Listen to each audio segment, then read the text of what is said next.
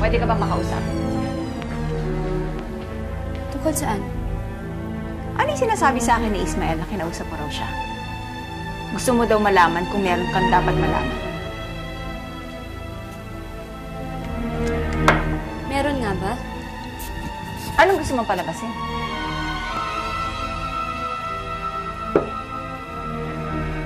Wala akong gustong palabasin. Gusto ko lang ng katotohanan. Anong katotohanan ang hinahanap mo? Sabihin mo nga sa akin, ulitin mo. Anong katotohanan ang hinahanap mo? Tutuloy na ako marami pa akong gagawin. Huwag mo nga akong tatalikuran pag kinakausap kita. Huwag mo akong sasaktan! Huwag mo akong babasusin! Magkalabasan na nga tayo. Sabihin mo sa akin, huwag ka na magtago. Anong nilalaman ng dibdib mo?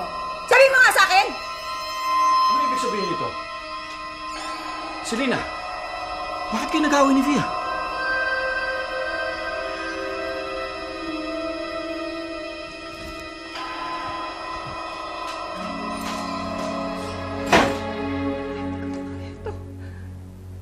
Hindi ko na kayang pambabasto sa akin ng anak ko. Bakit? Ano nangyari? Kuya, kung makatingin siya sa akin, akala mo kriminal ang tinitingnan niya.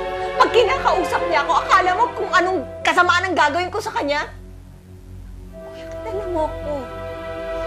Buong buhay ko, wala akong ginawa kundi ang alagaan kayo. Nang higit pa sa pamilya ko. Tapos gaganituhin niya ako. Ano ba talaga nangyayari, Selena? Basta alam ko si Manuel ang may kasalanan ng ito. Alam ko si Manuel ang nagpadukot sa kanya. At alam ni Via yon.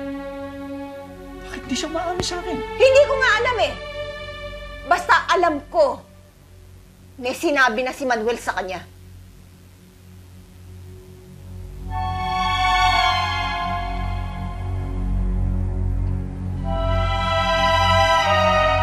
Tara na. Baka mahuli pa tayo eh.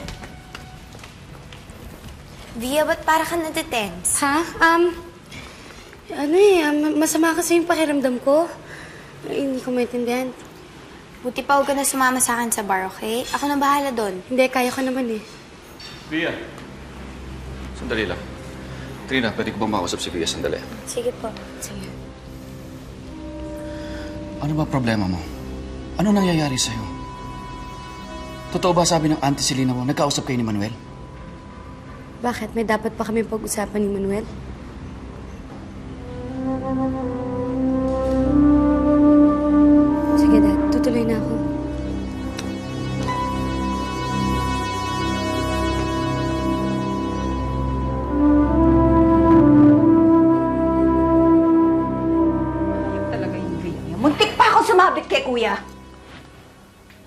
Ikaw ito may problema eh. Ipinakita mo ba naman yung tunay na kulay mo sa bata? Aba, mas malaki ang problema niya. Huwag niya akong susubukan na. O ano ngayon ang binabalak mo? Hintayin mo kung anong ipag-uutos ko sa mga bata ko. Tingnan natin kung uubra pa siya sa bangis ko.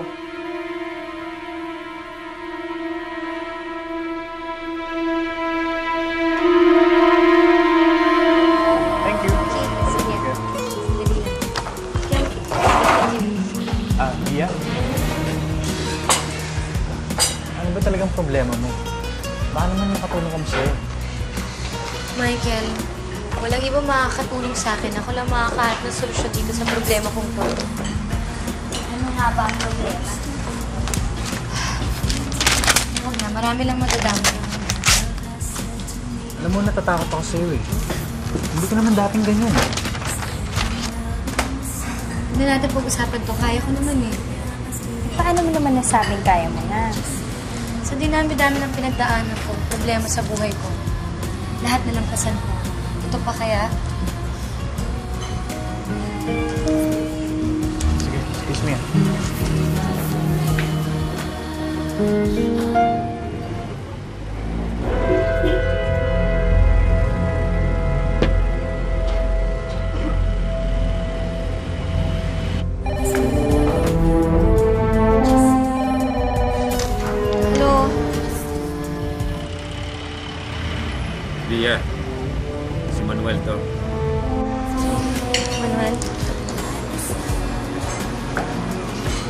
May gusto sana akong linawin dun sa mga sinasabi mo sa akin. Bakit di yan? Gusto mo na bang marinig ang mga dapat mong malaman? Ano ba talagang kailangan mo sa akin? Bakit mo ba ako ginaganito? Isa lang naman ang gusto ko eh. Ang malaman mo ang lahat. Ngayon, isa lang ang gusto kong marinig sa'yo. Handa ka na ba malaman ang totoo? Kung di ka handa, sabihin mo lang sa akin. Madali ako kausap. Handa na ako. Magaling.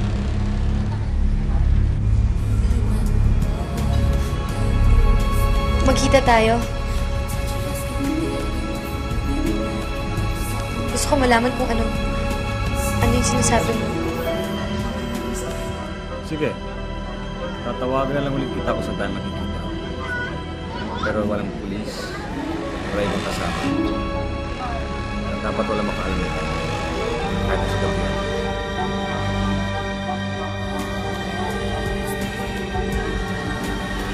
Paano kung malalaman kung talagang mapagkakatiwalaan kita na hindi ko kailangang magsama ng kahit sino? Dia, wala ka namang pagpipilian. Kaya dapat magtiwala ka sa akin. Kung gusto mong malaman.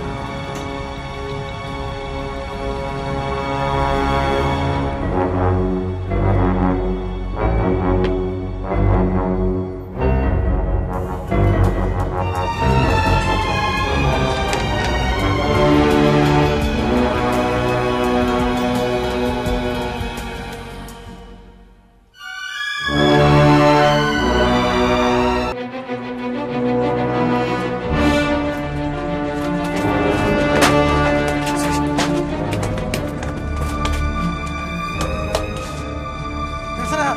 Eh, nakita ko dito pumunta yun eh.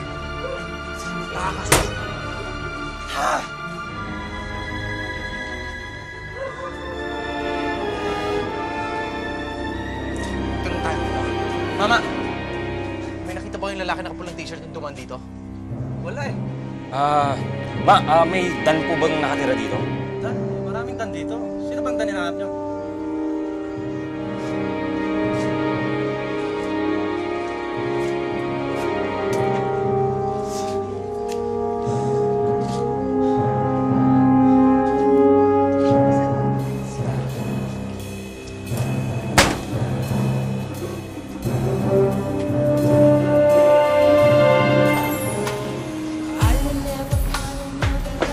Sino yung tumawag? Um, wala, ah, supplier natin ng bigas. Supply ng bigas? Di ba ka-deliver lang nila kahapon? Ganun ba? Oo. Akala ko kasi hindi pa sila nag-deliver eh, ah, kaya tinawagan ko. Nag-return ko lang sila.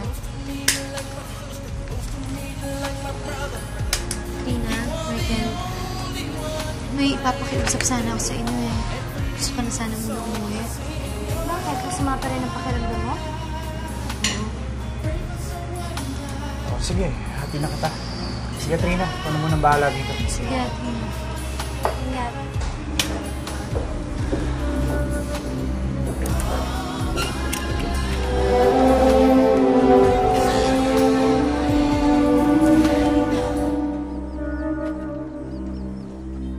Tara, alas na tayo.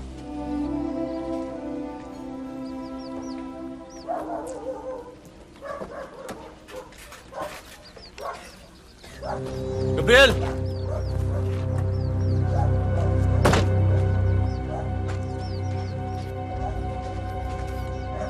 Anong kailangan mo sa akin?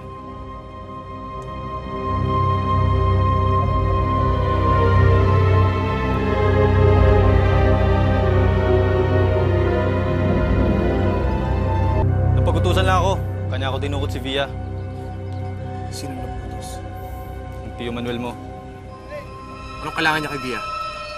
Sa pagkakaalam ko eh, gusto niya makausap si Via. Bakit? Anong pinag-usapan nila? Hindi ko narinig. Hindi niya sa, sinasabi sa akin yung mga plano niya. Ginagawa ko yung mga pinapagawa niya. Bayad ako. Hindi na ako nagtatanong. Eh, kay Bato. Anong huling balita mo? Ang huling balita ko kay Bato eh, Pag-alagala daw siya ngayon. Nakikita kung saan saan. Minsan nga eh, nakita siya ng kaibigan ko sa Minyo. Anong ginagawa nun sa amin? Ewan, Ano ba itsura ni Bato? um, medyo kulot yung buhok. Tama lang yung pangangatawan. Siguro mga mga 5'6 yung taas. Moreno. Tsaka bilog yung mga mata. Yun lang.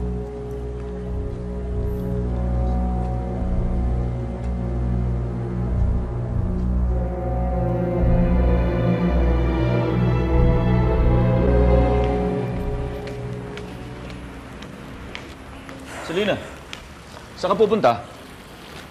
Magpapahangin lang, kuya.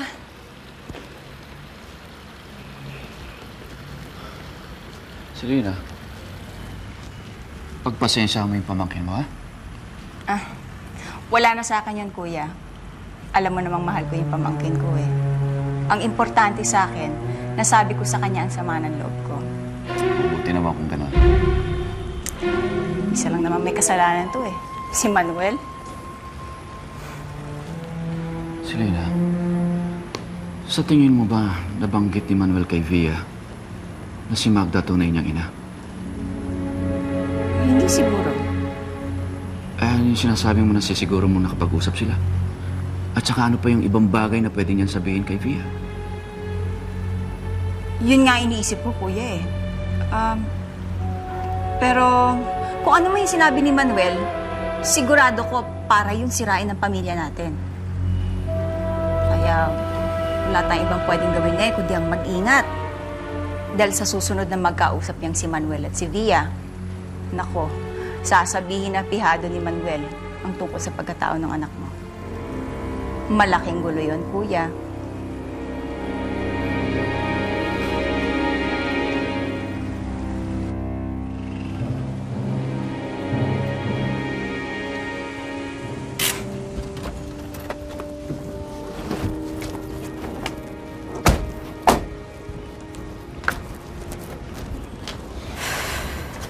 Na ata sa loob.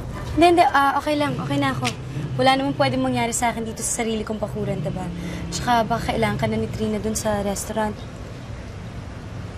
O sige, ikaw ang bahala. Magpahinga ka na. Sige, salamat ah.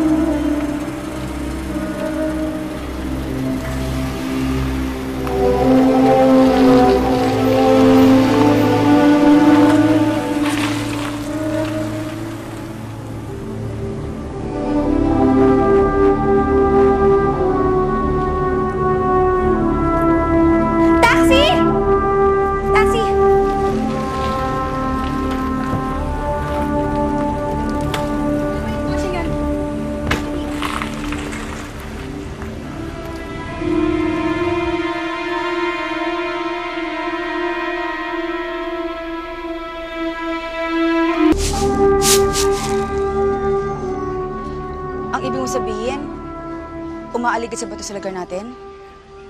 Yun ang sabi ni Dan sa amin ni Gabriel. Naku. Nasabi ba sa'yo kung bakit? Hindi. Baka gusto niyang saktan si Maria dahil alam niyang kinakalaban siya nito sa husgado. Yun nga po ako nagtataka eh. Kung bakit siya umaaligid dito. Una, hindi naman natin alam kung anong itsura niya. Pangalawa, hindi naman natin alam kung nasan siya. Bakit pa siya lumalapit sa disgrasya? Naku, Neil, natatakot ako. Baka mamaya katabi ko na yun, hindi ko pa alam. Sinabi sa amin ni Dan kung anong itsura ni Bato. Medyo kulot ang buhok. Ah, tama lang ang pangangatawan. Moreno. Kulot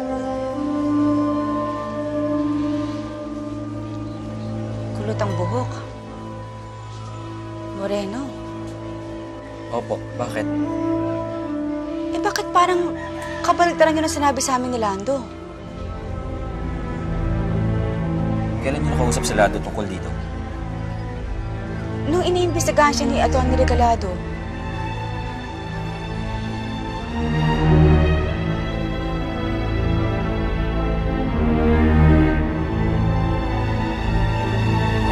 Thank you. Balik-balik kayo. Ito yung order ng Michael? Sa tingin mo nagsisinungaling si Dia sa atin? Ha? Anong ibig niyo sabihin? Baka hindi sinasabi sa atin yung nangyayari sa kanya. Yun din ang motive ko eh. Pero, ano kayang ibig sabihin niya na maraming taong madadami? Baka naman nasa peligro ng buhay kaya hindi siya nagsasalita. Hindi ko alam. Pero sigurado ako si Manuel ang nagpaduwa sa kanya. Meron ko nalaman sa problema ni Bia ngayon. Kasi Manuel talaga nagtumulong sa kanya. Ba't hindi pa siya pinatay? Bakit naman siya tatakutin? Tsaka ano naman sasabihin niya kay Dia para matakot doon? Hindi pa siya nagsusumbong. Malayong-malayo naman siya makakatawag ng pulis o kaya sabihin sa daddy niya. Hindi ko talaga alam.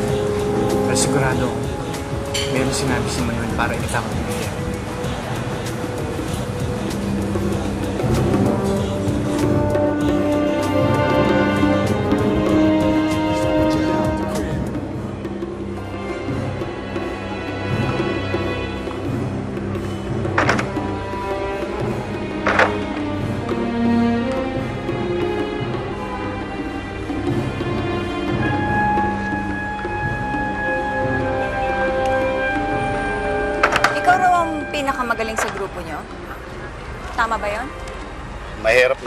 magsalita, ma'am. Ibig sabihin nun, hindi ka pumapanpak. Basta tama ang presyo, makakaasa kayo. Good. Sino ho nga palang ipapapatay niyong politiko? Hindi politiko. Pamangkin ko. Si Via Pereira.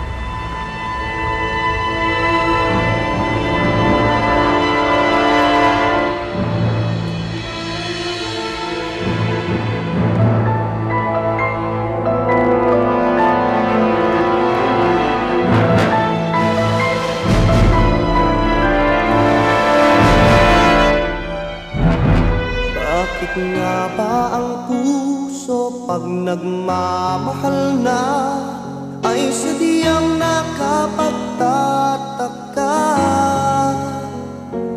Ang bawat sandali lagi nang may ngiti. Dahil langit ang nadarama